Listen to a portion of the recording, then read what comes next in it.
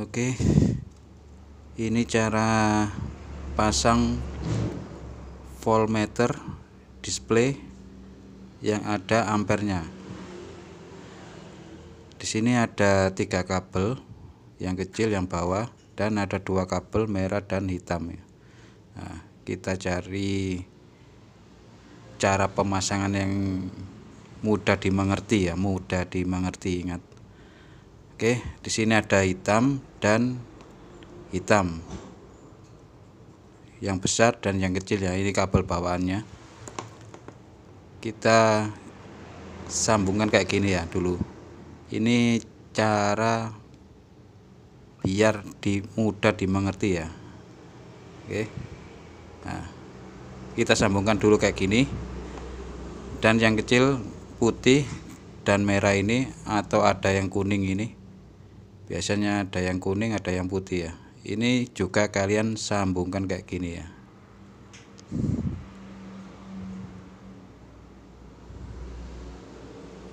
Oke. Nah setelah keduanya tersambung merah dan putih ini dan yang hitam-hitam ini juga tersambung kayak gini. Lalu kita pasang pada trafo ya saya kasih timah dulu oke yang ini juga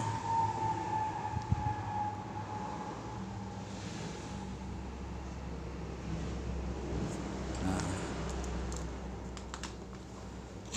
ini kalau sudah tersambung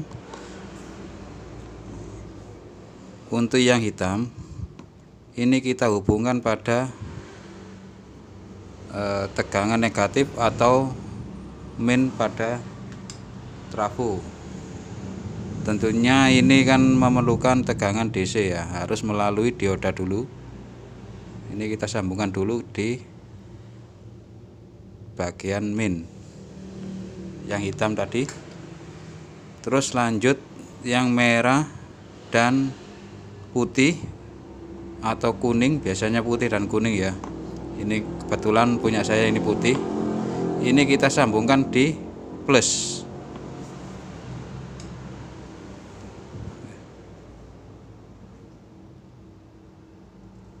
Nah.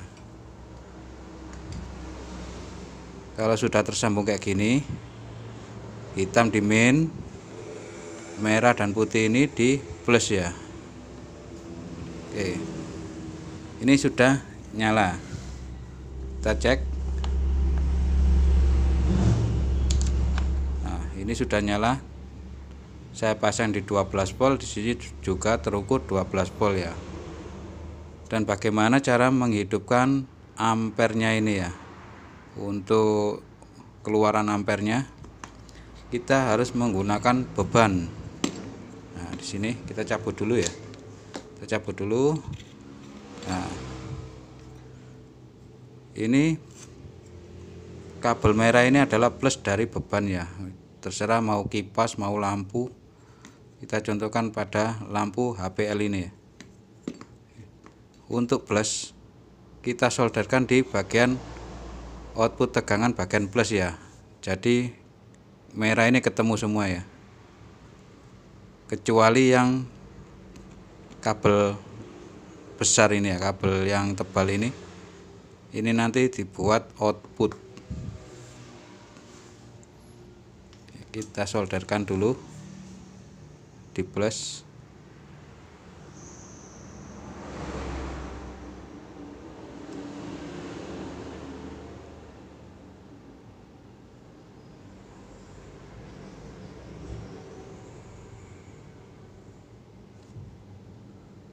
Kurang nempel ya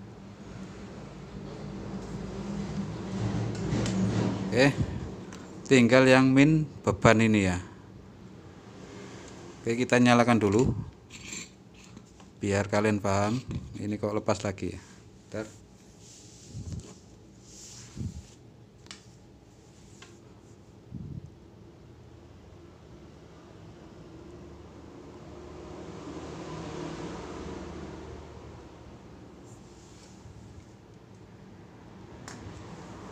Oke kita nyalakan dulu ya. Nah ini sudah nyala.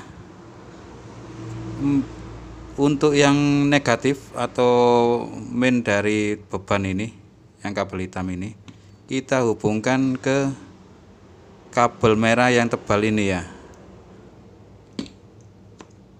Ini merah adalah output dari ampere kayak gini ya. Nah kayak gini. Kita balik biar tidak silau oke. Nah kayak gini. Ini sudah terbaca 0,17 miliampere ya.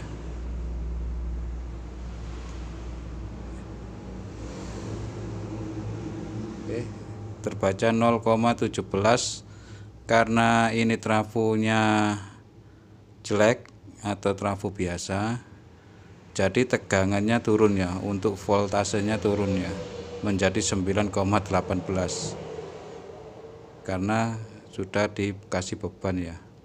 Beda lagi kalau trafonya kondisi bagus atau yang kualitasnya bagus mungkin turunnya tidak akan signifikan ya. Ini langsung 9 volt ya 9,4 di uh, 9 setengah di bawah 10 oke.